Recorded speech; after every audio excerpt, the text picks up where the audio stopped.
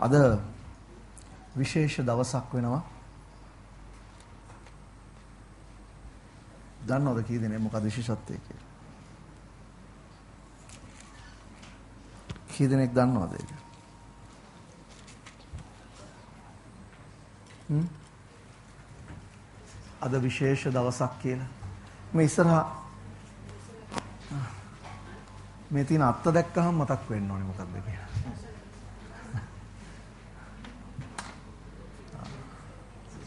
Palm කියලා නේ සිංහල විතරට කියන්නේ.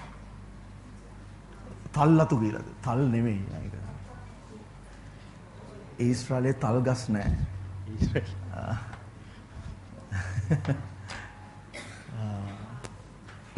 හොඳයි. අද වගේ දවසක විශේෂ දෙයක් සිද්ධ වුණා. යේසුස් වහන්සේ මේ ලෝක ඉතිහාසය වෙනස් කරන එහෙම නැත්නම් මේ මනුෂ්‍ය සංහතියේ ඉරණම වෙනස් කරන මහා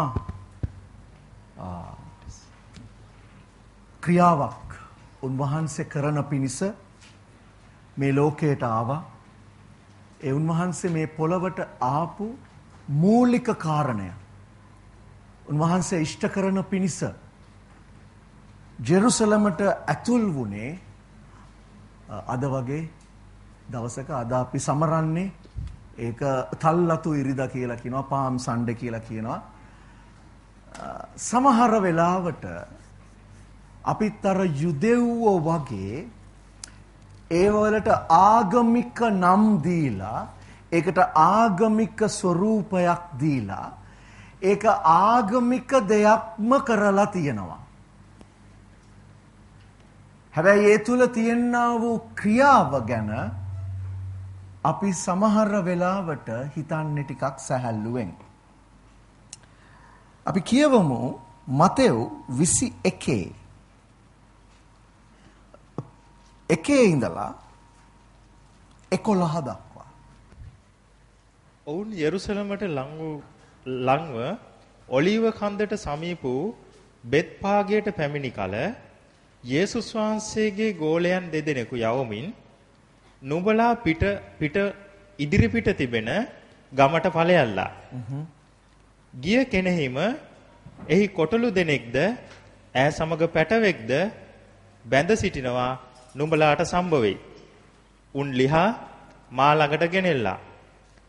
යමෙක් නුඹලාට කිසිවක් කීවොත් ස්වාමින් වහන්සේට උන් ඕනෑ කෙරෙයයි කියාපල්ලා. එවිට ඔහු එවලේම උන් එවන්නේ යයි ඔවුන්ට කීයේ. මෙසේ වූයේ බලව තිගේ රජ කොටලුකෙකු පිටද කොටලු පැටුවෙකුගේ පැටවා වූ වස්සෙකු පිටද නැගී මොලොක් ගුණයෙන් යුක්තව තී වෙතට එනසේකයි සියොන්ගේ දුවට කියාපල්ලායයි අනාගත වත්රූහ කරන කොටගෙන කියන ලද කාරණාව සම්පූර්ණ වන පිණිසය. ගෝලයෝ ගොස් යේසුස් වහන්සේ නියම කළ ලෙස කොටලු දෙනත් පැටියත් ගෙන උත් Tamanගේ වස්ත්‍ර උන් පිට එළුවෝය. උන්වහන්සේ පිට හිඳගත්සේක. සමූහයාගෙන් වැඩි දෙනා tamunගේ වස්ත්‍ර මග අතුලෝය. තවත් සමහරු ගස් වලින් අතු කපා මග අතුලෝය. පෙර පසුව ගිය සමූහයෝ දාවිද්ගේ පුත්‍රයාට හෝසන්නාය කියාත් ස්වාමින් වහන්සේගේ නාමයෙන් එන තැනැත්තේ ආශිර්වාද ලද්දේ කියාත් ඊතා උසස් තැන්නේ හෝසන්නාය කියාත් මොර ගැසුවෝය. උන්වහන්සේ යෙරුසලමට ඇතුල් වූ කල මුළු නුවර කැළඹි මේ කවුදයි කීවෝය. සමූහයෝද මුන්වහන්සේ ගලීලයේ නාසරෙත් නුවර අනාගත වත්රු යේසුස් වහන්සේයයි කීවෝය. මේ සිදුවීම සිදු වුණේ යේසුස් වහන්සේ කුරුසපත් වෙන්න දින කීපයකට කලින්. දැන් ප්‍රශ්න තියෙනවා වාද තියෙනවා යේසුස් වහන්සේ කුරුසපත් වුණ දිනය ගැන අපිට ඒක වැදගත් නෑ. එකම දේ යේසුස් වහන්සේ කුරුසපත් වුණා. දින එච්චරම වැදගත් නෑ. යේසුස් වහන්සේ ඒ කුරුසපත් වෙන නැත්නම් මේ ලෝක ඉතිහාසය වෙනස් කරන මිනිසුන්ගේ ඉරණම එහෙම් පිටින්ම වෙනස් කරන මේ මහා ක්‍රියාව කරන පිණිස ජෙරුසලමට ඇතුළු වෙනවා. මොකද හේතුව ජෙරුසලම කියන්නේ දෙවියන් වහන්සේගේ නගරය. යෙරුසාලෙම්. දෙවියන් වහන්සේ ජෙරුසලෙම් වලට ආශිර්වාද කරනවා. මොකද ඒක උන්වහන්සේගේ නගරය නිසා. දැන් දෙවියන් වහන්සේ සෑම විශේෂ දෙයක්ම සිද්ධ කරන්න තෝරගත්තේ යෙරුසලම. ඔබ දන්නවා ආබ්‍රහම් ඊසාක්ව පූජා කරන්නත් සූදානම් වුණේ ජෙරුසලම ඇතුළේ. ජෙරුසලම නගරය ඇතුළේ. ඒ වගේ විශේෂ අවස්ථා කීපයක්ම ජෙරුසලම තුළ සිද්ධ වුණා. නමුත් ඒ සියලු දේට වඩා වැදගත්ම සිදුවීම තමයි මේ මුළු විශ්වයේම අධිපති මැවුම්කාර සර්ව බලධාරී දෙවියන් වහන්සේ මිනිස්සෙක් විදිහට ඇවිල්ලා ජෙරුසලමේ මැරෙන්න යනවා.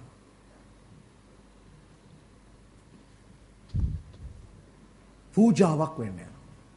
දැන් ඒකට උන්වහන්සේ ජෙරුසලමට ඇතුළු වෙනවා. දැන් මීට ඉස්සෙල්ලා යේසුස් වහන්සේ කීප වතාවක් ජෙරුසලමට ආවා.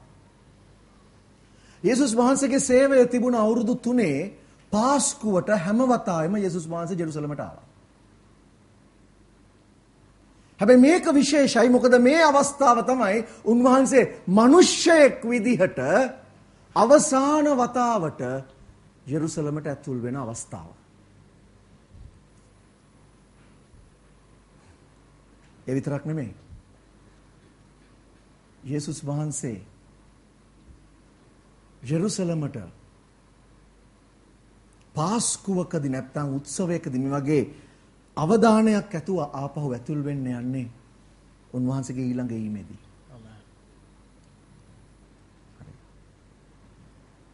යේසුස් වහන්සේ ඇතුල් වුණ මේ රන් දොරටුව අද වහලා මම ඒක ගැන කතා කරන්න යන්නෙත් නැහැ.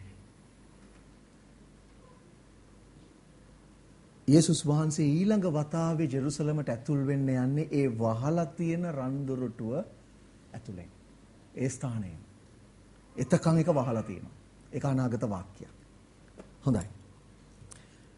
යේසුස් වහන්සේ මේ ක්‍රියාව කරන්න නැත්නම් උන්වහන්සේගේ බලවත් වූ පූජාව කරන්න ජෙරුසලමට ඇතුල් වෙනවා. ඇතුල් වෙනකොට ඔබ දැක්ක සිද්ධ වෙච්ච දේ මිනිස්සු දෙපැත්තේ ඉඳගෙන මහා හයියෙන් කෑ ගහලා කියනවා හොසන්නා හොසන්නා දාවිද්ගේ පුත්‍ර හොසන්නා ඒ වගේම ස්වාමින් වහන්සේගේ නාමයෙන් එන තැනැත්තා ආශිර්වාදලත් එක්ක. හරි. දැන් ඔය සිදුවීම සිදු වෙලා යේසුස් වහන්සේ ජෙරුසලමට ඇතුල් වුණාම වහන්සේ අපූර්ව දෙයක් කරනවා. ඊළඟ පදේ. යේසුස් වහන්සේ දේව මාලිගාවට ඇතුල්ව දේව මාලිගාවේ විකුණමින්ද මිලේට ගනිමින්ද සිටි සියලු දෙන පිටතට එලවා මිල මාරු කරන්නන්ගේ මේසද පරවියන් විකුණන්ගේ ආසනද පෙරලා දමා මාගේ ගෘහය යාඥා ගෘහයක් කියා කියනු ලබන්නේ යයි ලියා තිබේ. නමුත් නුඹලා එක සොරුන්ගේ ගුහාවක් කරති ඔවුන්ට කීසේක. යේසුස් වහන්සේ ඇතුල් වෙනවා ජෙරුසලමට ඇතුල් වෙනකොට මොකද වෙන්නේ මේ පාස්කු මංගල්‍යයට මිනිසුන් ඇවිල්ලා පූජාවන් කරන්න යනවා. ඒ නිසා මොකද කරේ මේ උත්තම පූජකයෝ පරිසිවරු ලියන්නෝ මේ මාලිගාවට සම්බන්ධ අය ලොකු බිස්නස් එකක් කරමින් හිටියා. මොකද්ද? අර මිනිසුන්ට අවශ්‍ය කරන පූජා විකුණනවා. ඒකෙන් ලොකු ආදායමක් ඔවුන් ලබනවා මේක දීලා තිබුණා බිස්නස් කාර්යයන්ට. ඒ බිස්නස් කාර්යෝ කමිෂන් එකක් දෙනවා කාටද? උත්තම පූජකයාට වෙනම කමිෂන් එකක් යනවා. අනිත් පූජකයන්ට වෙනම කමිෂන් එකක් යනවා. ඒ වගේම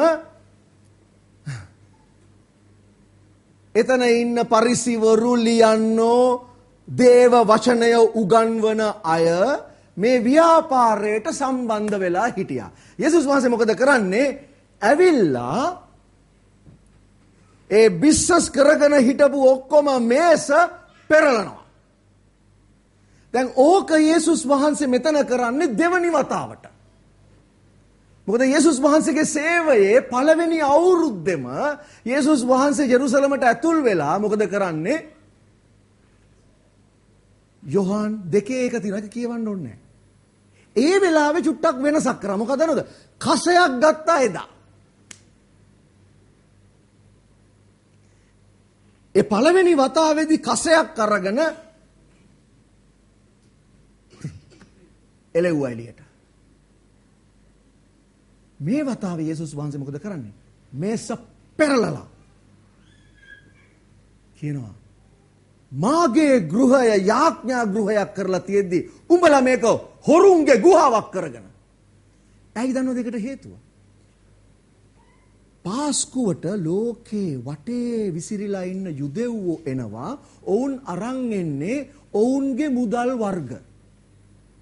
එතකොට ඒ මුදල් වර්ග පිළිගන්නේ නැහැ අර පූජාවන් මිලදී ගන්න. ඒ නිසා ඒගොල්ලෝ මොකද කරන්නේ? සල්ලි මාරු කරනවා. දැන් අද වගේ එක්ස්චේන්ජ් රේට් එක වැටෙන්නේ නැහැ කම්පියුටර් එකේ ඉස්සරහා. ඉතින් මොකද කරන්නේ? මිනිස්සු ඕන ඕන ගණන් වලට එක්ස්චේන්ජ් රේට් හදා ගන්නවා. ඉතින් අහිංසක මිනිස්සු මොකද කරන්නේ? රැවටිලා ඒගොල්ලන් සල්ලි මාරු කරගන්නවා ජෙරුසලමේ තියෙන සල්ලි වලට මාරු කරගන්නකොට අයුතු ලාභ අරගන්නවා අර වෙලෙන්දෝ. ඒක තමයි යේසුස් වහන්සේ කියන්නේ හොරුන්ගේ ගුහාවක් කරගත්තා බලන්න. කියලා යේසුස් වහන්සේ මොකද කරන්නේ? මේස පෙරලලා ඒලෝලා දාන ඔක්කොමලා. යේසුස් වහන්සේ මේක කරපු එක හේතුවක් තියෙනවා. උන්වහන්සේ පාස්කු කාලයේදී කුරුසපත් වෙන්න ඕනේ. හැබැයි පාස්කු කාලයේදී යුදෙව්වෝ සාමාන්‍යයෙන් නඩු අහන්නේ නැහැ. පාස්කු මංගල්‍ය ඉවර වුණාම තමයි මේ දේවල් කරන්නේ. හැබැයි දෙවියන් වහන්සේගේ වචනය සම්පූර්ණ වෙන්න නම් මේ දේ කරන්නම ඕනේ. ඒ නිසා යේසුස් වහන්සේ මේක කරන්නේ අර ආගමික නායකයන්ව අවුස්සන්න. හොල්ලන්න. එනිසා මොකද කරන්නේ? උඹලා මේක හොරුන්ගේ ගුහාවක් කියලා කියනවා. ඒ කියන්නේ නොකිය කිව්වා උඹලා හොරු කියලා.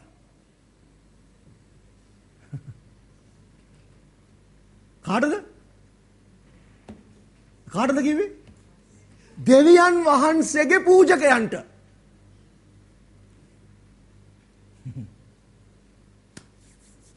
දැන් අපි සාමාන්‍යයෙන් කියවනකොට බයිබලය අපි හිතනවා මේ පරිස්සිවරු සද්දුස්සිවරු කියන්නේ හරිම නරක සෙනගක් කියලා. ජරා જાතියක් කියලා. නෑ. පරිසිවරු කියන්නේ සදුසිවරු කියන්නේ විශේෂයෙන්ම පරිසිවරු සහ ලියන්නෝ කියන්නේ දෙවියන් වහන්සේගේ වචනය හොඳට කියවලා ඒවා නීතියට අනුව ක්‍රියාත්මක කරවන්න ඉන්න කට්ටියක්. පාවුලුතුමත් පරිසිවරෙක්. දැන් පරිසිවරුනුයි මේ උත්තම පූජකය ඇතුළු පූජකයනුයි බලන් ඉඳද්දී තමයි යේසුස් වහන්සේ මේ ක්‍රියාව කරන්නේ.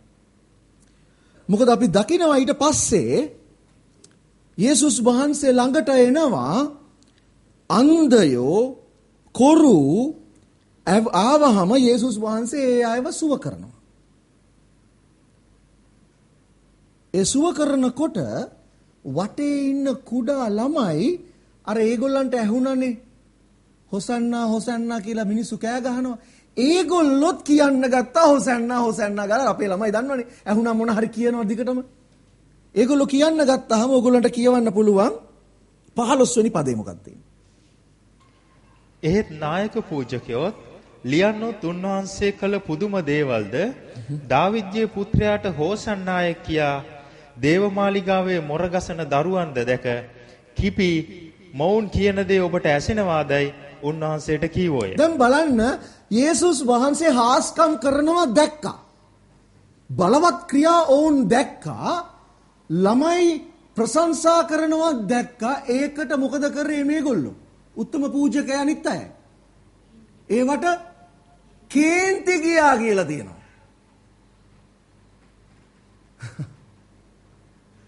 දැන් ඒගොල්ලන්ට කේන්ති යන්න මෙතන සිද්ධ දෙයක් සිද්ධ වුණේ නැහැ. හැබැයි සිද්ධ වුණේ මොකද්ද? ඒගොල්ලන්ගේ බිස්නස් එක පාඩු වුණා. ඒකට කේන්ති කියලා හිටියේ.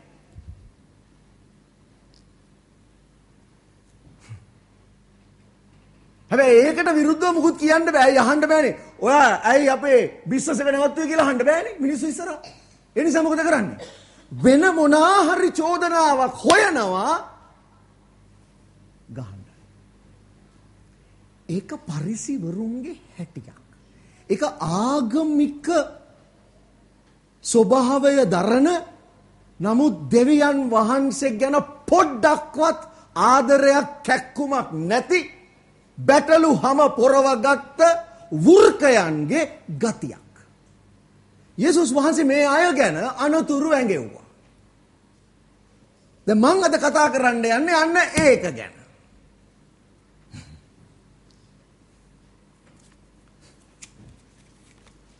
මතෙව් 16. යේසුස් වහන්සේ යන්න යන්න තැන බයිබලයේ අපිට කියනවා පරිසිවරේ කොහෙන් හරි රිංගනවා. ඕන තරම් අපි දකිනවා ඒක. ඕන තරම් තියෙනවා. අපි මේ මේ මේ එක අවස්ථාවක්. කියවන 15 39 ඉඳලා කියවන්න. එක දිගට කියවන්න. උන්වහන්සේ සමූහයන් යන්ට හැර ඔරුවට නැගී මගදන් සීමාවලට පැමිණිසේක. මග්දලාවට ආවා. පරිසිවරුද සදූසිවරුද ඇවිත් උන්වහන්සේ පරීක්ෂා කරමින් පොඩ්ඩක් ඉන්න මොකද උන්වහන්සේ මොකද කරේ?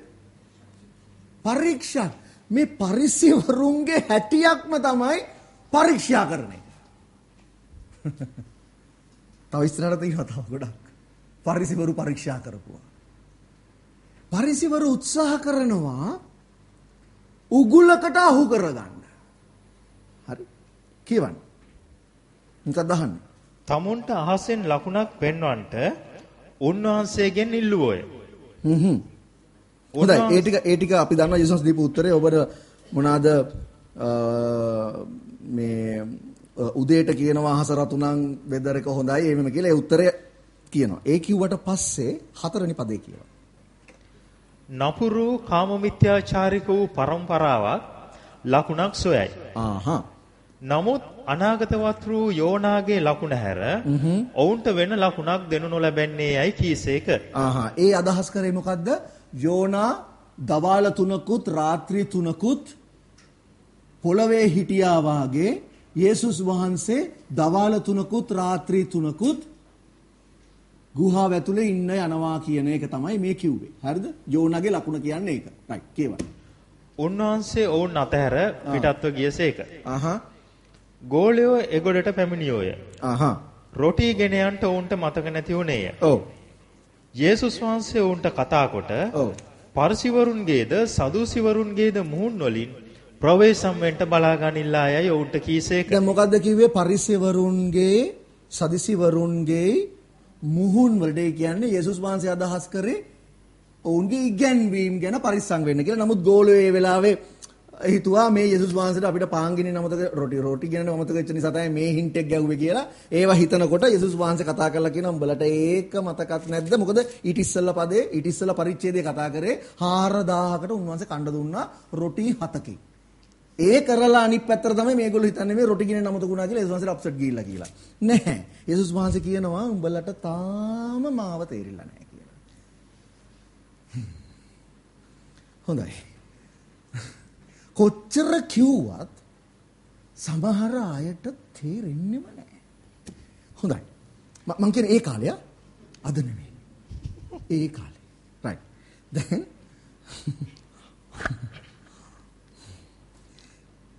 කොහොම හරි යේසුස් වහන්සේ පැහැදිලි කරලා දෙනවා 11 වෙනි පදයයි 12 වෙනි පදයයි කියන මට එතන තමයි එන්න ඕනේ. රොටි ගැන මා විසින් නුඹලාට නොකී බව නුඹලාට තේරුම් නැත්තේ කොහොමද? කොහොමද තේරෙන්නේ නැත්තේ රයිට්. නමුත් පරිසිවරුන්ගේද සදුසිවරුන්ගේද මුහුන් වලින් ප්‍රවේශම් වෙල්ලා යයි කීසේක. පස්සේ එ- එවිට උන්වහන්සේ පරිසිවරුන්ගේද සදුසිවරුන්ගේද ඉගැන්වීමෙන් මිස මිස රොටීවල මුහුන් වලින් ප්‍රවේශම් වෙන්ට නොකී බව ඔහු තේරුම් ගත්තෝය. අන්න ඒගොල්ලන්ට තේරුණා මේ යේසුස් වහන්සේ කියලා තියෙන රොටි ගැන නෙමෙයි මේ පරිසිවරුන්ගේ සදිසිවරුන්ගේ ඉගෙන්වීමෙන් පරිස්සම් වෙන්න. හරිද?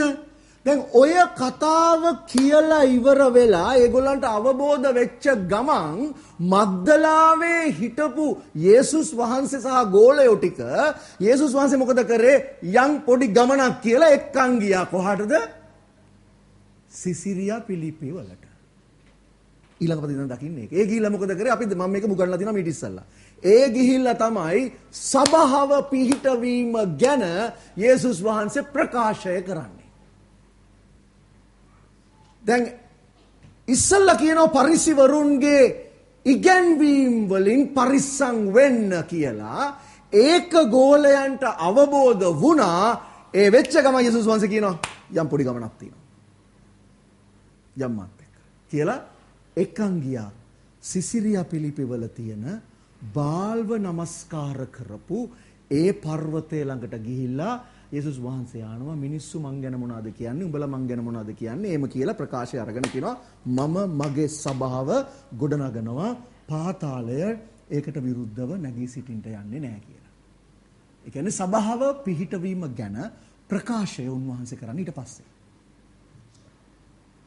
මම හිතනවා යේසුස් වහන්සේ පරිසිවරුන්ගේ ඒ ඉගැන්වීම ගැන අනතුරු ඇඟෙව්වේ යුදෙව්වන්ට විතරක්ම නෙමෙයි. ඒක අද කාලේ ජීවත් වෙන අපිටත් වැදගත් වෙනවා. මොකද පරිසිවරු කියන්නේ දුෂ්ට නපුරු මිනි මරණ කට්ටියක් නෙමෙයි.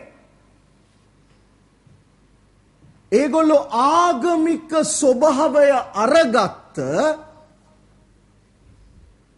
ආගම ගැන නැත්තම් දෙවියන් වහන්සේ ගැන කතා කරමින් දෙවියන් වහන්සේට විරුද්ධව සිටින කට්ටිය. මං අද ඕගොල්ලන් ඉදිරියේ තියන්න යනවා යේසුස් වහන්සේ පරිසිවරුන් ගැන කරපු ප්‍රකාශ කීපයක්. හරිද?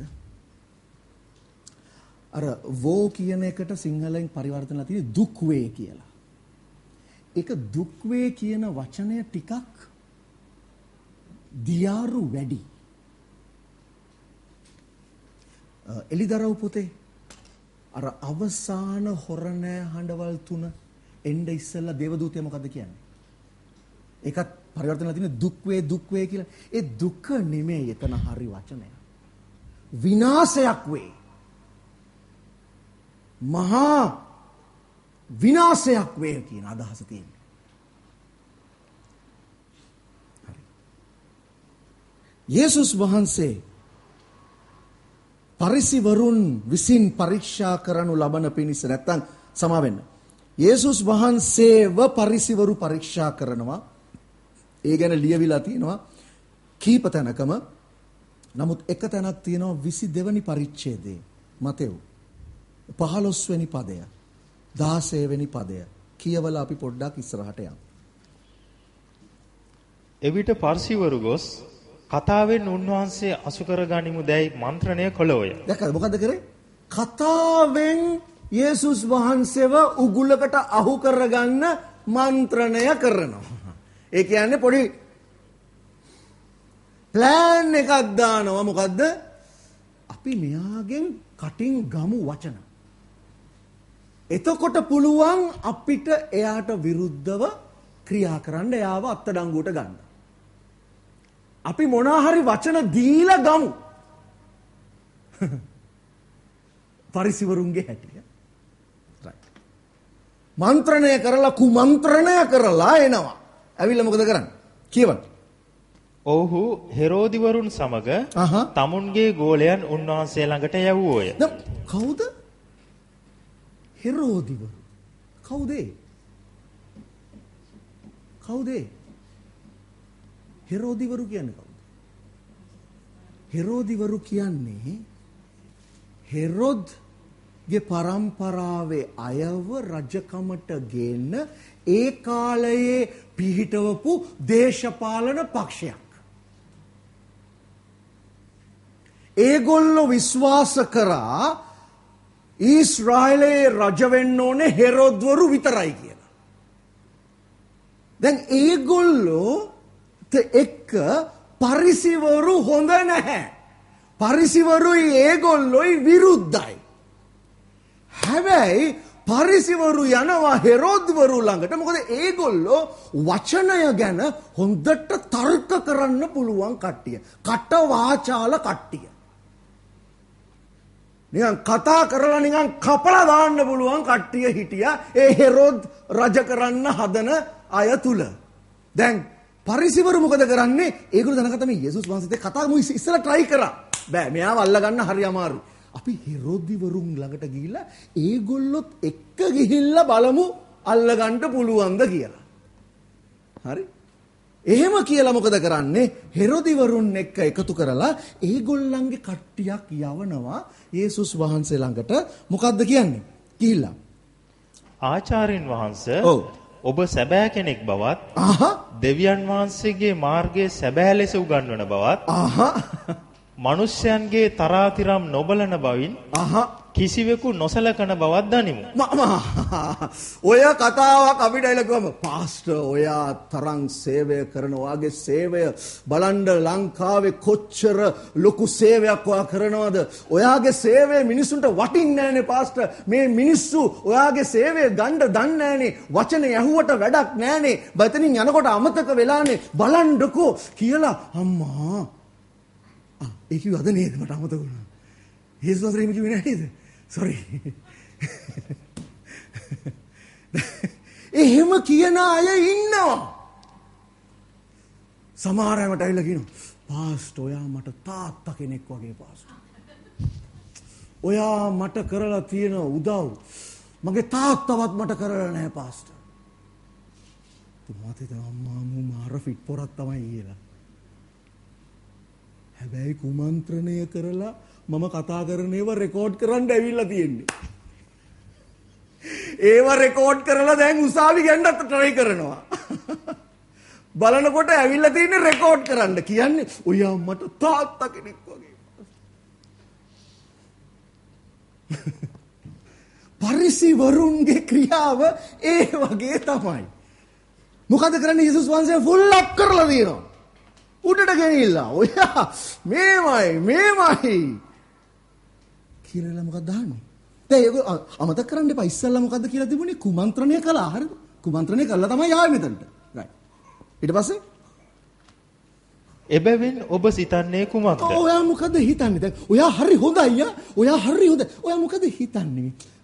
සීසර්ට ටැක්ස් ගෙවන එක හොඳයිද? නරකයිද? ඔයා ඔයාගේ අයිඩියා කියන්නකෝ නිකන්. මොකද කරන්න දන්නේ? යේසුස් වහන්සේ කිව්වොත් ගෙවන්න එපා කියලා අනිත් පැත්තට ගිහිල්ලා රෝමවරුන්ට කියනවා අන්න අරයා උගන්වනවා ටැක්ස් ගෙවන්න එපා කියලා. ගෙවන්න ඕනේ කියලා කිව්වොත් මොකද වෙන්නේ? මිනිසුන්ට කියලා කියනවා මෙන්න රෝම අධිරාජ්‍යයේ ඔත්තුකාරයෙක් මු. මොන උත්තරේ දුන්නත් මාට්ටු. ට්‍රක් කරා. ට්‍රක් කරා. යේසුස් මොකද කරන්නේ? ලස්සන උත්තරයක් දෙනවා. ඊළඟට කියවන්න. නමුත් යේසුස් වහන්සේ ඔවුන්ගේ දුෂ්ටකම දැන දුෂ්ටකම දැන. දුෂ්ටකම. දැනගෙන මොකද කරේ? වංචාකාරයනි. නුඹලා මා පරීක්ෂා කරන්නේ මක් නිසාද? ආදායම් මිලේ මට පෙන්වා පල්ලායයි කීසේක. කාසියක් මට දෙන්න. ඒකයි සංසි කියන්නේ. ගෙවන්නනේ කියන්නේ කාසියක් පෙන්වන්නකො මට. කාසියේ තියෙන්නේ කාගේ පින්තූරයද? එතකොට කියනවා සීසර්. ආ සීසර්ගෙද? ඉතින් සීසර්ගෙද සීසර්ට දෙන්න. දෙවියන්වහන්සේගෙද දෙවියන්වහන්සේට දෙන්න.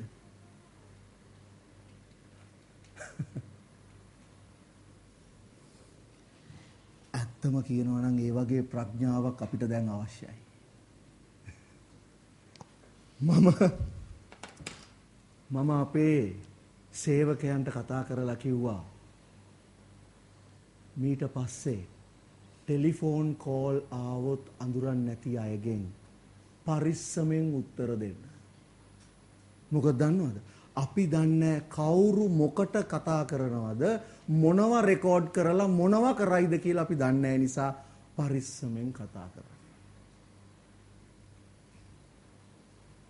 ඒකට හේතුව තමයි දෙවියන් වහන්සේගේ ක්‍රියාව කරන්න එනකොට යකා එවනවා බැටළුහම පොරවගත්ත වෘර්කයෝ ඒව අස්සට.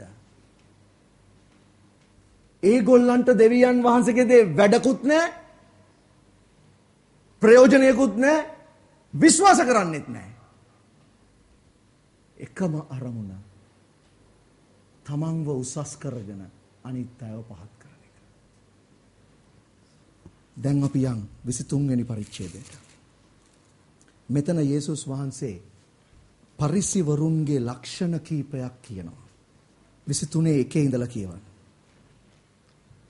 එකල යේසුස් වහන්සේ සමූහයන්ටත් තමන් ගෝලයන්ටත් කතා කොට ලියන්නෝද පරිසිවරුද මෝසස්ගේ ආසනයේ හිඳිති. ඒ කියන්නේ මෝසස්ගේ ව්‍යවස්ථාව ඔවුන් අධ්‍යයනය කරලා එහෙම ඉඳගෙන තමයි ඒගොල්ලෝ ප්‍රකාශ කරන්නේ. හරි?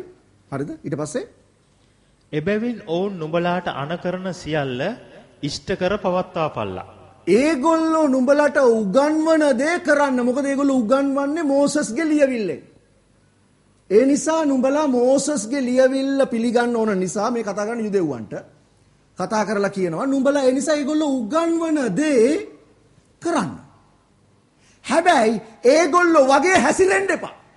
එහෙමයි කියන්නේ ඊළඟ පදේ. ඒගොල්ලන් කියන දේ කරපන් මොකද ඒගොල්ලෝ උගන්වන්නේ මේකෙන් නිසා හැබැයි ඒගොල්ලෝ වගේ හැසිරෙන්න එපා. මොකද දන්නවද? ඒගොල්ලන්ගේ ස්වરૂපය මොකද්ද?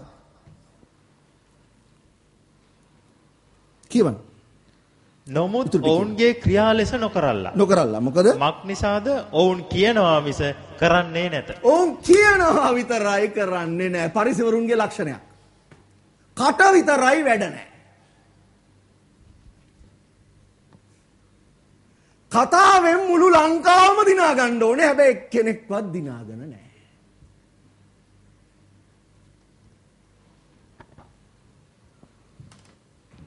ඒක පස්වෙනි පදේ කියවා. දෙවනි ලක්ෂණය. ඔවුන් කරන සියල්ලම කරන්නේ මිනිස්යන්ට පෙනෙන පිණිසය. ඒගොල්ලෝ දේවල් කරන්නේ මිනිස්යන්ට පෙනෙන පිණිස. Right ඊට පස්සේ ඔහු tamunගේ පිලාතරේ පළල් කර දාවලලු මහත් කරති. හ්ම් මංගල්‍යවලදී ප්‍රධාන ස්ථානයටද සිනගෝගවලදී ප්‍රධාන ආසනවලටද වෙළදාම් පොලේදී ආචාර ලැබීමටද මිනිසයන් විසින් රබ්බීයයි කියනු ලැබීමටද කැමති වෙති. ඊළඟ ලක්ෂණය තමයි ඒගොල්ලෝ අර ඉස්සල්ලාම ලක්ෂණය තියෙනවා ඔවුන්ට හැමදේම කරන්නේ මිනිසුන්ට පේන්න ඒක නිසා ඒගොල්ලෝ තමන්ගේ ස්ථානය ආගමික විදිහට දාගෙන තමන් දාගන්නවා සූට් එකක්. ඔකට ගිය සුමානේ අපේ සහෝදර සිරිගේ කටින් පැන්න වචනයක්. කපටි සූට් එක. අපි කතා කර කර ඉන්න වෙලාවක බුක් ගාලා පැන්නා. මොකද්ද කපටි සූට් එක? ඒ කියන්නේ ඇඳගත්තාම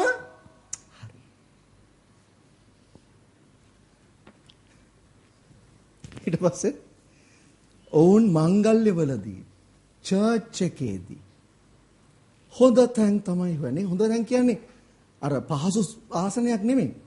කැපී පෙනෙන ස්ථානයක්. මට කැපී පෙනෙන විදිහට මං ඉන්න ඕනේ. එහෙම හිතනවා ඒගොල්ලෝ. රයිට් ඒ වගේ මේගොල්ලෝ කැමති පාරේ යනකොට මිනිස්සු එයාට කතා කරලා ආ ඔයා නේද අර චර්ච් එකේ අරක දෙට සම්බන්ධයෙන් ආ ඔව් මම තමයි. Thank you.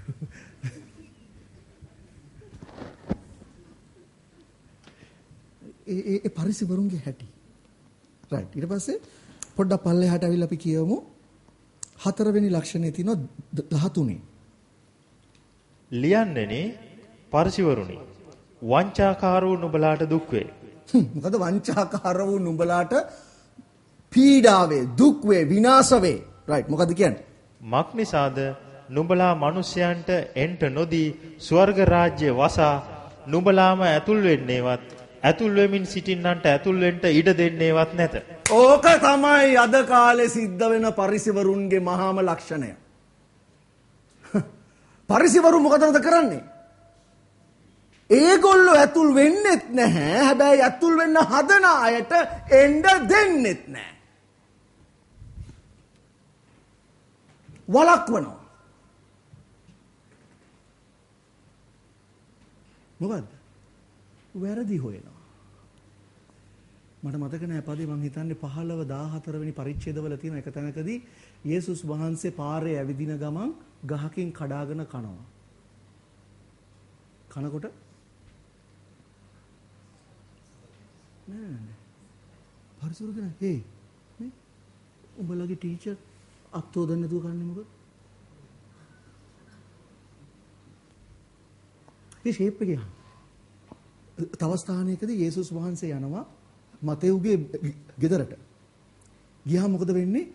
පව්කාරයෝ එනවා. ඒ කියන්නේ ටැක්ස් කලෙක්ටර්ස්ලා ගොඩාක් කට්ටිය එනවා යේසුස් වහන්සේට එක මේසේ වාඩිලා එක මේසේ කෑම කනවා. කෑම කනකොට පරිසිවරු මේ ඕගලන්ගේ ටීචර් පව්කාරයොත් එක්ක කෑම කනවනේ. හොඳ නෑ නේ. විවස්ථාවට විරුද්ධයි නේ. යේසුස් වහන්සේට ඒක ඇහෙනවා. ඇහිලා උත්තර දෙනවා. පරිසිවරු වල කෙලින් කතා කරලා කියන්නේ. එහෙම කියන අවස්ථාවල් ආවා. ගොඩක් වෙලාවට ඒගොල්ලෝ කරන්නේ ෂේප් එකේ අනිත් අයව අවුස්සනවා. මේ ඕගලන්ගේ පාස්ටර් අර වගේ හැසිරෙනවනේ. බලන්නකො. මට උදාහරණ ගෙනනම් නම් කියන්න පුළුවන්.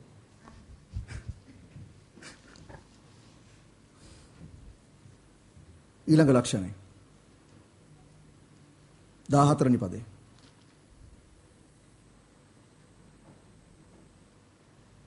කියවන. ඒක කියපස්. මත 23 14 14 ඒ 15 ඇතුළේ ඒ ඒක ආ ඒ ටිකේ? ඔව්. ආ? 14 මොකක්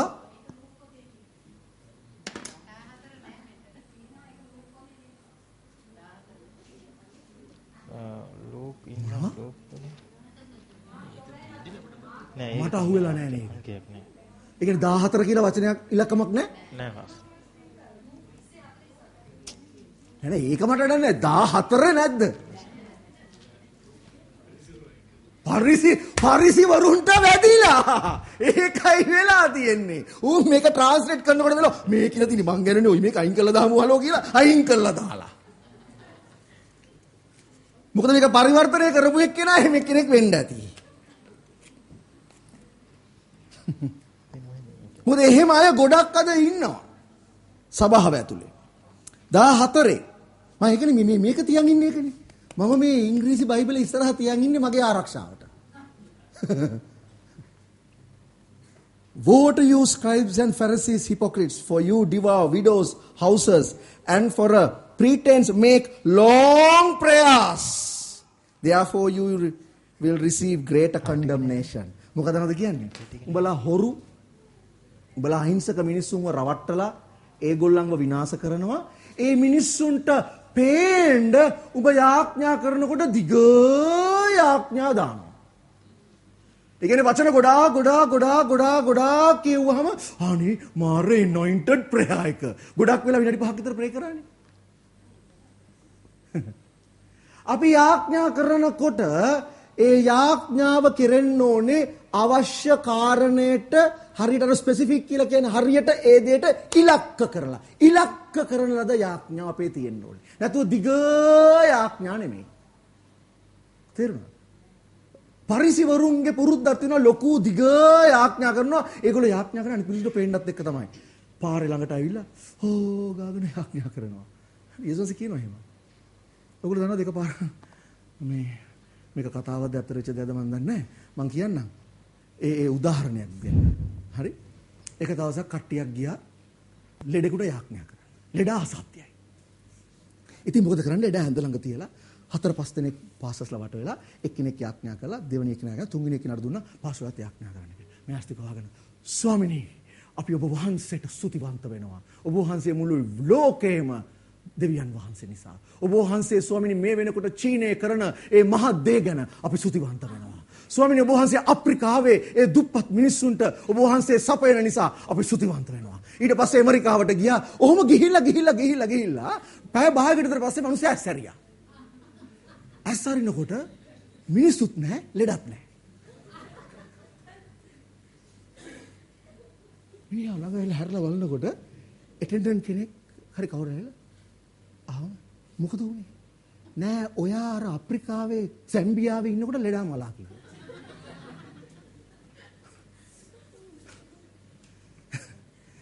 එතනට ගියේ අප්‍රිකාව ගැන යාඥා කරන්න නෙමෙයි. එතනට ගියේ අර අසාධ්‍ය වෙලා ඉන්න ලෙඩාව සුව වෙන පිණිස යාඥා කරන්න. හැබැයි ගොඩක් අය ආසයි තමන් ගොඩක් දන්නවා කියලා පෙන්වන්න යාඥාවෙන්. ඔයගොල්ලෝ දන්නවා දෙවියන් වහන්සේට යාඥා කරනකොට සමහර අය දෙවනසට ෆුල් ලෙක්චර් එකක් දෙනවා. ස්වාමිනී ඔබ වහන්සේ දන්නවා ස්වාමිනී කියලා බයිබලේ අහවල් පද අහවල් තැන අහවල් වාක්‍යයේ මෙන්න මෙහෙම ඔබ වහන්සේ කියලා තියෙනවා ස්වාමිනී ඒ වගේම ඔබ වහන්සේ බයිබලේ අහවල් පදේ අහවල් තැන අහවල් ස්ථානයේ මේ විදිහට කියලා තියෙනවා ස්වාමිනී ඒ වගේම ස්වාමිනී ඔබ වහන්සේ යසාය පොතේ මෙතන මෙහෙමත් කියලා තියෙනවා ස්වාමිනී ඔබ වහන්සේ ක්‍රියාපොතේ හරියට දෙවෙනස දන්නේ නැහැ වගේ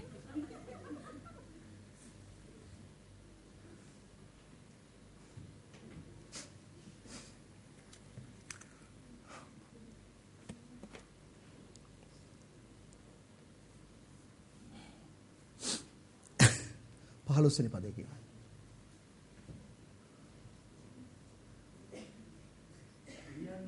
දැන් මට දැන් මට පුදුමයක් නෑ ඇයි මේ පදේ අයින් කරේ කියලා. දැන් මම පුදුම වෙන්නේ ඇයි මේ පදේ අයින් කරලා තියෙන්නේ කියලා. ලියන්නනේ පරිසිවරුනි. වංචාකාරෝ නුඹලාට දුක් වේ. මක් නිසාද නුඹලා එක්කෙනෙකු හරවා ගන්න පිණිස මුහුදත් ගොඩත් හැම තැනම ඇවිදින්න ඔහුය. ආ ඒ කියන්නේ මේගොල්ලෝ ඉවැන්ජලිසම් කරනවා. ඒ කියන්නේ හැම තැනම යනවා අඩුම ගානේ එක්කෙනෙක් හරි හරව ගන්න. හරවගත්තා මොකද වෙන්නේ? මේ මේ කියන්නේ කවුද? මේ කතාව කියන්නේ කවුද? යේසුස් වහන්සේ. යේසුස් වහන්සේ. හරිද? ආ. කියවන්න. හරව ගත්තාම නුඹලාටත් වඩා දෙගුණයක් ඔහු නිරේ පුත්‍රයෙකු කරන්නහුය.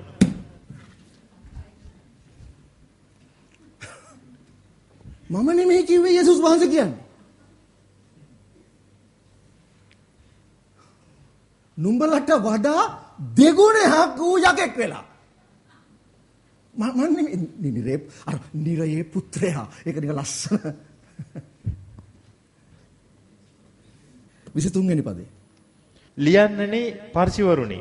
වංචාකාරෝ නුඹලාට දුක් වේ මක් නිසාද? නුඹලා සුවඳ තලාය. සතපුෂ්පය සුදුදුරය යන මේන් දසෙන් කොටසක් දෙන්නහුය ආහා. නොමුත් යුක්තිය දයාවත් විශ්වාසකමත් යන ද්‍රව්‍ය ව්‍යවස්ථාවේ වඩා වැදගත් කාරණා නුඹලා විසින් අතහැර තිබේ මොකද කරන්නේ දසෙන් කොටස ගැන කතා කරනවා නුඹලා උගන්වනවා අර අර දේ.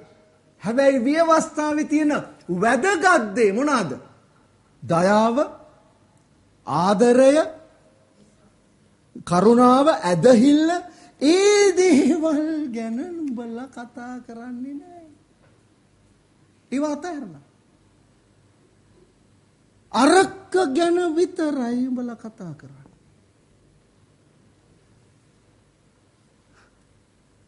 ඒකෙන් අදහස් වෙන්නේ මොකක්ද? තමන්ගේ වාසියට තමයි කතා කරන්නේ. පරිසිවරු දේව වචනය ඒගොල්ලන්ගේ වාසියට හරව ගන්නවා. ඒගොල්ලන්ට පහසු විදිහට හරව ගන්නවා. මුළු ඉගැන්වීම තුල නෙමෙයි ඔවුන්ට ඒ වෙලාවේ වාසි වෙන දෙයට කතා කරනවා. ඊට පස්සේ 25 කියවන්න. ලියන්නනේ පර්ශිවරුනි වංචාකාරෝ නුඹලාට දුක් වේ. මක් නිසාද නුඹලා කුසලානද තැටියද පිටින් පවිත්‍ර කරන්නහුය. නමුත් ඇතුලේ ඒවා කොල්ල කෑමිනුත් තෘෂ්ණාදි කමිනුත් පිරී තිබේ. ඒ කියන්නේ නුඹලා එළියෙන් පිරිසිදු කරගන්නවා භාජනය ඇතුලේ කුණු ගොඩයි. නුඹලා ඇතුලේ කුණු ගොඩයි ඊළඟවදත් කියවන්න. අන්ධ වූ පර්සිය කුසලානත් තැටියත් පිටින් පවිත්‍ර වන පිණිස පළමු කොට ඒවායේ ඇතුළ පවිත්‍ර කරපන්න. ඒගොල්ලන්ගේ එළියෙන් ඒගොල්ලෝ ශුද්ධවන්තයෝ බව පෙන්නනවා. එළියෙන් හැමෝටම පේන්නේ අශුද්ධවන්තෙක්. හැබැයි ඇතුළ ගඳ ගහනවා. යේසුස් වහන්සේ කියනවා ඉස්සල්ලා ඇතුළ සුද්ධ කරගනින්. ඊට පස්සේ එළිය සුද්ධ වෙනවා. මොකද නේද හේතුව? දෙවියන් වහන්සේගේ ක්‍රියාවලිය පටන් ගන්නෙ ඇතුළාන්තයේ ඉඳලා එළියට. එළියේ ඉඳලා ඇතුළට නෙමෙයි. දෙවියන් වහන්සේ පිරිසිදු කරන්නේ ඇතුලේ ඉඳලා එළියට. ඒ කියන්නේ ඉස්සල්ලා පිරිසිදු වෙන්නේ ඇතුළාන්තය. ඊට පස්සේ තමයි එළියට ඒව පේන්න ගන්න.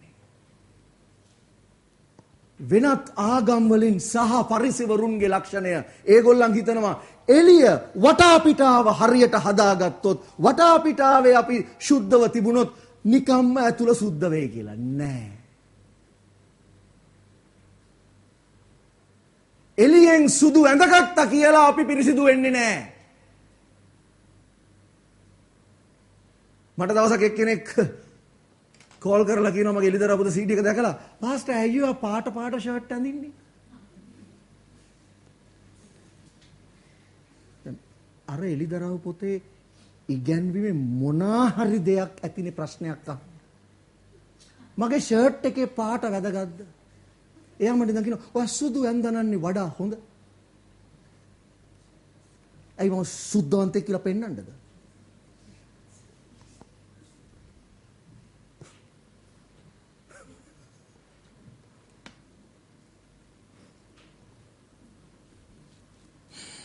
විසිනමය ලක්ෂණ තියෙනවා සෑහෙන මම මේ ටිකක් අරගන්නේ. මක් නිසාද නුඹලා අනාගත වත්රුවරුන්ගේ සොහොන් ගෙවල් සාදා? ආ ඒ කියන්නේ මොකද සොහොන් ගෙවල් හදනවා කාටද? අනාගත වත්රු.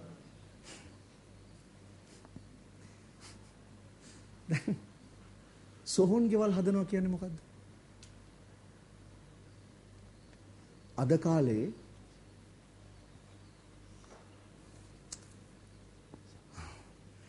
දේශපාලනය කරන අයට මලගයක් පේන්න බෑනේ.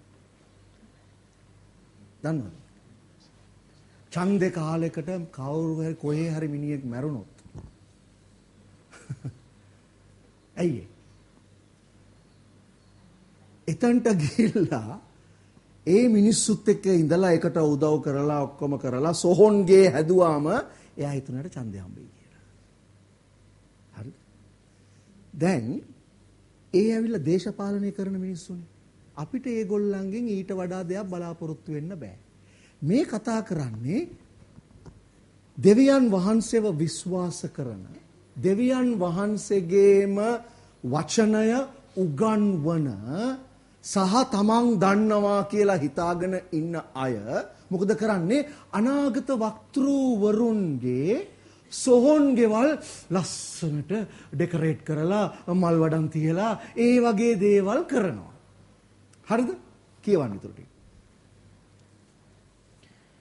ධර්මිෂ්ඨයන්ගේ සොහොන් කොත් සරහා මොකද ධර්මිෂ්ඨයන්ගේ මොකද මොකද අපෝ කියන්නේ? සරහා කියලා තියෙනවා. සරසා. හා ඒගොල්ලෝ ඒකට ගෞරව කරනවා. මේ මොකද කාගේද ධර්මිෂ්ඨයන්ගේ ඉතින් මේ මිනිස්සයා හොඳ හොඳ මිනිස්සෙක් මෙයා හරි ෂෝක් ඉතින් මලා ඉතින් කරන්න දෙයක් නැහැ නමුත් අපි ඒක සරසමු සොහොන්ගේ රයිට් කියවන්න අපේ පියවරුන්ගේ කාලයේදී අපි සිටියෙමු නම් අපි හිටියනම් මම මරන්නේ නැහනේ අපි හිටියනම් ඒක තමයි කියන්නේ අපි හිටියනම් මේක කරන්නේ නැහැ එහෙම කියලා මොකද කරන්නේ? අර සොහොන්ගේ ඩෙකරේට් කරනවා. හැබැයි ඒ මිනිස්සයා ලියපු දේ ඒ මිනිස්සයා ප්‍රකාශ කරපු අනාගත වාක්‍ය සත්ත පහකට ගණන් ගන්නෑ. සොහොන්ගේ මේ කවුද කියන්නේ? යේසුස් වහන්සේ කියන්නේ. මොකද ඒ වෙනකොට හිටපු සියලු අනාගත වක්තෘවරු යේසුස් වහන්සේ ගැන අනාවැකි කියලා තිබුණා. ඒකයි මේ කියන්නේ. උඹලා ඒගොල්ලන්ගේ සොහොන් ගෙවල් හැදුවට උඹලා දැන් කිව්වට අපි හිටියනම් මරන්නේ නැහැ කියලා උඹලා අද කරන්නේත් ඒකමයි.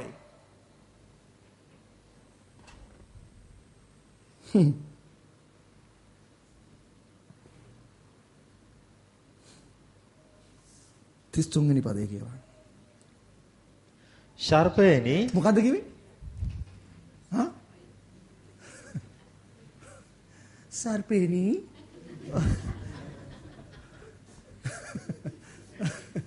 යේසුස් වහන්සේ මත කතා කරේ මේ හලෝ සර්පයෝ ඔගලන් ඔගලන් මංචාකාරයෝ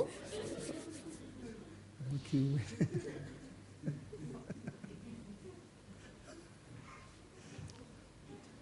සර්පයෝ වංචාකාරයෝ උඹලා ගිනි විලෙන් බේරෙන්නේ නැහැ. ඒකයි කිව්වේ. සර්පයා කියලා කිව්වේ මොකටද? යක්ෂයා. කාටද මේ කියන්නේ? වචනය උගන්වනවා කියලා බොරුවට ආගමික ස්වරූපයක් රඳවගෙන ඉන්න බැටලු හම පොරවගත්ත වෘර්කයන්ට. මේ වගේ ලක්ෂණ තියෙන අය අද කිතුුණු සභාවේ බැහි බැහැලා. ඔක්කොම බොරු ෂෝ එකට විතරයි. ඔක්කොම එළියේ පෙන්වන්න විතරයි.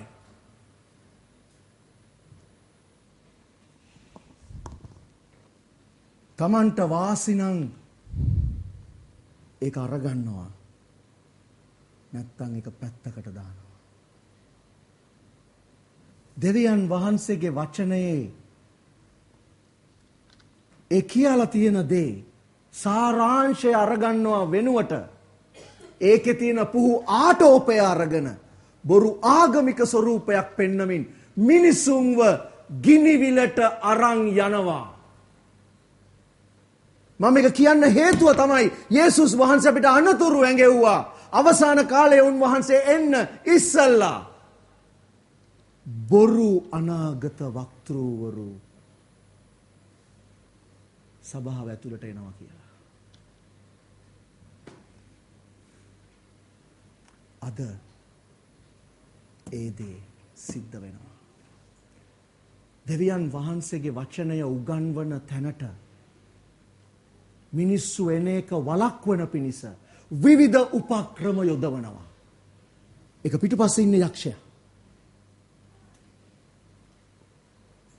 පිටුපස්සේ ඉන්න යක්ෂයා. ඌ මොකද කරන්නේ? මිනිස්සු ලව්වා. එක එක මාදිලියේ එක එක විදිහේ වියවුල් ගෙනල්ලා මිනිස්සුන්ව දෙවියන් වහන්සේගෙන් ඈත් කරන විදිහේ බොරු ඉගැන්වීම් කරනවා විතරක් නෙවෙයි අනවශ්‍ය දේවල් නිසා මිනිස්සුන්ව ගැටුම් ඇති කරවනවා. මේවා සභාවන් වල තියෙන පිළිකා. පිළිකාව පිළිකා සෛලය හොඳ කරන්න බෑ පිළිකා සෛලය අයින් කරන්න ඕනේ. යේසුස් වහන්සේ කිව්වේ ඒක නිසා පරිසිවරුන්ගේ මුහුන් වලින් පරිස්සම් වෙන්න කිව්වේ ඒකයි දන්නවද? මුහුන් වලින් මොනවද වෙන්නේ? හොඳ පිටිගුලියක් තිබුණොත් මුහුන් චුට්ටක් දැම්මොත් මොකද වෙන්නේ? මුළු පිටි ගුලියම මුහුන් වෙනවා. ඒක නිසා යේසුස් වහන්සේ අනතුරු ඇඟෙව්වේ පරිසිවරුන්ගේ මුහුන් වලින් පරිස්සම් වෙන්න. මොකද චුට්ටි දෙයක් තිබුණොත් ඇති.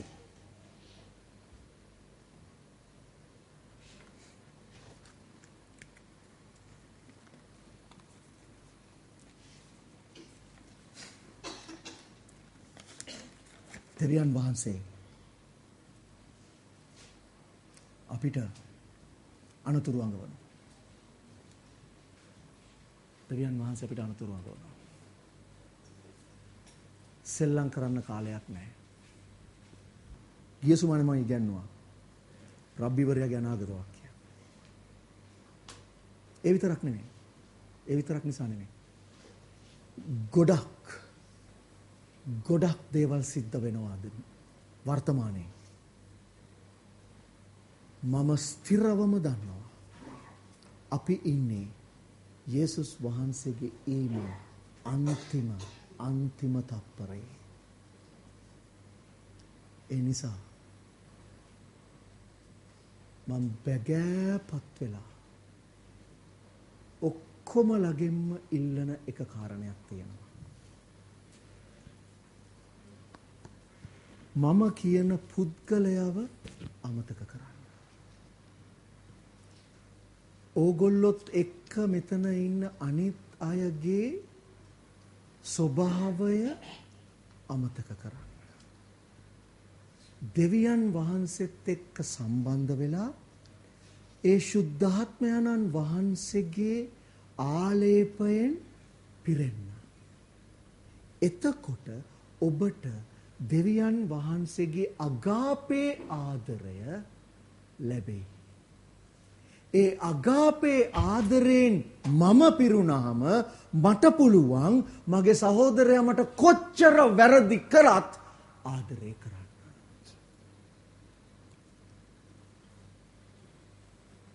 අන්න ඒක අපි තේරුම් ගමු.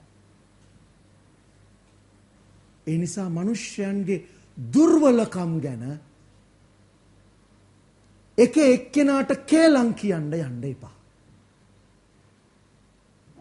මිනිස්යන්ගේ දුර්වලකම් ගැන කලකිරෙන්න එපා. මොකද අපි ඔක්කොම දුර්වල අය. මෙතන කිසිම කෙනෙක් සර්ව සම්පූර්ණ වෙලා නෑ තාම. මම ඇතුළු. අපි ඔක්කොම සම්පූර්ණත්වය කරා යන කට්ටිය. එහෙමනම් අපි හැමෝගාම එකක් හරි දුර්වලකමක් තියෙනවා. අපි උත්සාහ කරනවා ඒක හදාගන්න. මම උත්සාහ කරනවා මගේ දුර්වලකම් හදාගන්න. ඒක නිසා තමයි කියන්නේ මගේ වැරද්දක් තියෙනවා නම් කෙලින් ඇවිල්ලා මට කියන්න. ඒ වගේ කාගේ හරි වැරද්දක් ඔබ දැක්කොත් ඒක ආදරෙන් ගිහිල්ලා කියන්න. පරිසිවරයෙක් වෙන්න එපා. ඇයි දන්නවද? සභාවට දැන් ඉන්න පරිසිවරු ගාන හොඳටම ඇති. වැඩිත් එක්ක. තව එක්කෙනෙක් ඕනේ දෙවියන් වහන්සේට අවශ්‍ය සැබෑ වූ ගෝලෙක්. තම කම නසා සියලු දේ අතහැර දෙවියන් වහන්සේ ගැන විතරක් හිතන සැබෑ ගෝලයෝ උන්වහන්සේට අවශ්‍යයි. අන්න එහෙම අයව තමයි දෙවියන් වහන්සේ මේ අවසාන කාලයේ සන්නද්ධ කරලා පාවිච්චි කරන්න යන්නේ. ඔබ එහෙම කරනවා නම් ඔබගේ විපාකය ස්වර්ගයේ මහත් වෙන්න යනවා. විශාල වෙන්න යනවා. මොකද මගේ සහෝදරය සහෝදරිය රැවටෙන්න නම් එපා. මේ ලෝකය මේ විදිහට වැඩි කල් තියෙන්න යන්නේ නැහැ.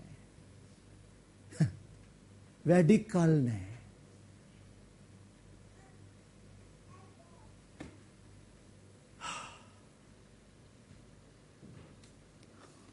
මං කැමති නෑ කාලවල් ගැන කියන්න. හැබැයි අපි ඔක්කොමලා හිතනවට වඩා ආසන්නයි. එක දවසක් අපි ඇහැරෙනකොට සමහර විට අපේ කට්ටිය අතුරුදහන් වෙලා තියෙන්න පුළුවන්. ඒ තත්ත්වයට වැටෙන්න එපා. ඉතුරු වෙන්න නම් එපා.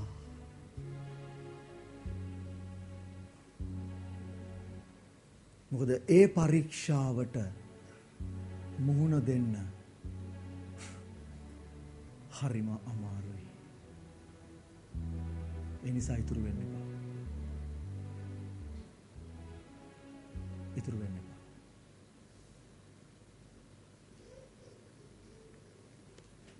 එපා. අපි ආඥා කරමු.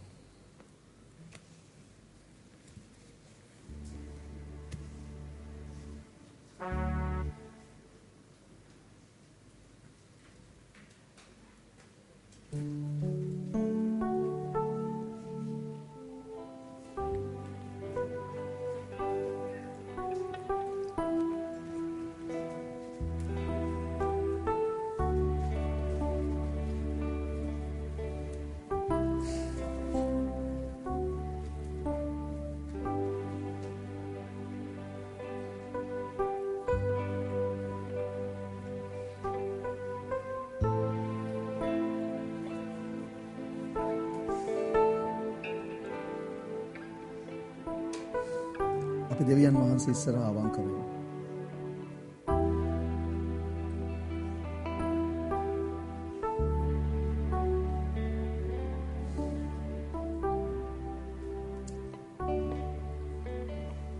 උන්වහන්සේගේ වචනේ කියනවා හේබ්‍රු පොතේ හතරවෙනි පරිච්ඡේදයේ දෙවියන් වහන්සේගේ වචනය ජීවමානයි බලවත් කිසිම දෙමුවහත් කඩුවකට වඩා එය මුවහත්ව තිබෙනවා අපේ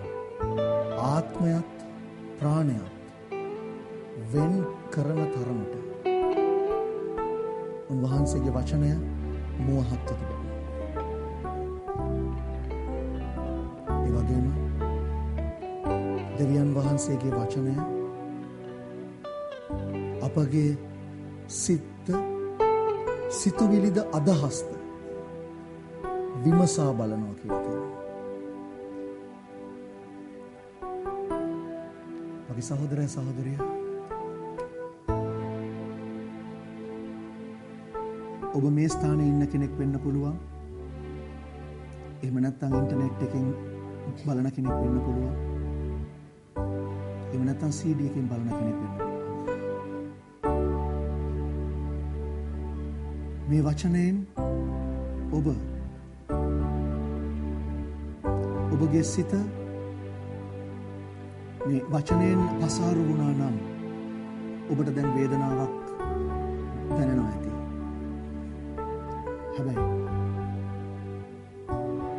වචනයේ අරමුණ මනුෂ්‍යාව නිවැරදි කිරීමයි. පසුතැවීමට ගේනවා. එනිසා අපි අවංක වෙමු. දෙවියන් වහන්සේ ඉදිරියේ. අවංක වෙලා උන්වහන්සේට කියමු ස්වාමිනී. මගේ මාර්ගය නිවැරදි කරන්න.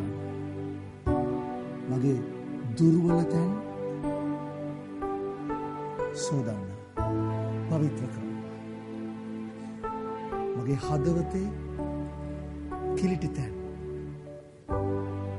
ඔබ වහන්සේ අකමැති හැමදේම මගෙන් අයින් කරන්න. අපි සමහර වෙලාවට ගීතේ ගායනා කරනවා. මේ වෙලාවේ අපි අවංකව කියමු. ස්වාමිනී මා තුල ඔබ වහන්සේගේ වචනයට විරුද්ධ දේ තිබෙනවා නම් ස්වාමිනී මාගෙන් සම්පූර්ණයෙන් ඒ දේ අයින් කරන්න.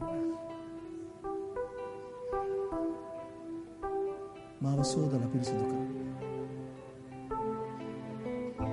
ඔබ වහන්සේගේ ක්‍රියාව මා තුලින් කරන පිණිස ඔබ වහන්සේ ඉදිරියේ මම ආයුධයක් වන පිණිස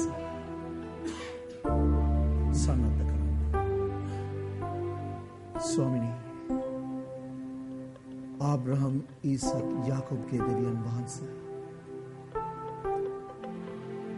මුළු විශ්වයම අධිපතියන සර්වබලධාරී දෙවියන් වහන්සේ. අපි ඔබ වහන්සේ වෙතට එනවා. ඔබ වහන්සේගේ ඒ පූජාව කරන කොටගෙන ස්වාමිනී. යෙසුනී ඔබ වහන්සේ අප වෙනුවෙන් කලා වූ ඒ පූජාව මේ සන්ධ්‍යාවේ අපි සිහි කරනවා ස්තුතිපූර්වක යෙසුනී ඔබ වහන්සේ එදා ස්වාමීනී මේ ප්‍රකාශයන් කරලා ඔබ වහන්සේ අවසාන කාලය ගැන ලකුණු අපිට දුන්න ස්වාමිනී. ඊට පස්සේ ඔබ වහන්සේ ඒ මහත් වූ පූජාව කරන්න සූදානම් වුණා ස්වාමිනී. ඒ සියල්ල ඔබ වහන්සේ කළේ අපිට තියෙන ආදරය නිසායි. ස්වාමිනී ඒ කුරුසිය කළ පූජාව ඔබ වහන්සේගේ ශරීරයෙන් ගලාගිය ඒ රුදිරයෙන් මාව සෝදල පිරිසිදු කරන්න ස්වාමී. ශුද්ධාත්මයනනී මෙන්න ඔබ වහන්සේට මගේ ජීවිතය මම භාර කරනවා යටත් කරනවා. මගේ ආත්මය සම්පූර්ණයෙන් යටත් කරමින්. මගේ ප්‍රාණය මගේ සෝල් එක ඔබ වහන්සේ සම්පූර්ණයෙන් පාලනයට ගන්න කියලා මං යාඥා කරනවා ස්වාමිනී. මේ ඉදිරියට මගේ සැලසුම් නොව මගේ කැමැත්ත නොව ඔබ වහන්සේගේ සැලසුම ඔබ වහන්සේගේ කැමැත්ත මා තුලින් ඉෂ්ට කරන පිණිස මාව සම්පූර්ණයෙන්ම ඔබ වහන්සේ පාලනය කරන්න. ඔබ වහන්සේගේ අගාපේ ප්‍රේමය මාව පූර්ණ කරන්න ස්වාමී. දෙව්පියාණනී මේ සියලුම දෙනා ඔබ වහන්සේගේ හස්තට මම බාර කරනවා කැප කරනවා. ස්වාමිනී ඔබ වහන්සේ මේ එක්කින් එක්කෙනාව ඇතුළාන්තයෙන් ස්පර්ශ කරමින් පිරිසිදු කරන්න ස්වාමිනී. ඔබ වහන්සේ ඇතුළාන්තයේ සිට පිටතට ඒ ක්‍රියාවලිය කරන්න ස්වාමිනී. දෙව්පියාණනී ඔවුන් ආවා වගේ නොවේ වෙනස් වෙලා යන්න ඔබ වහන්සේ ස්පර්ශ කරන්න. ඒ ක්‍රියාව කරන්න පුළුවන් ඔබ වහන්සේටම විතරයි ස්වාමී. ශුද්ධාත්මයන්නී ඒ ක්‍රියාව මේ ඔබ වහන්සේගේ සෙනගගේ ජීවිතය කරන්න ස්වාමී. යේසුස් වහන්සේගේ ඊමට මේ සෙනග සූදානම් කරන්න. සන්නද්ධ කරන්න. සියලු ගෞරවය සියලු මහිමය ඔබ වහන්සටම දෙනවා. යේසුස් වහන්සේගේ නාමයෙන්. ආමේන්. ජේසුස්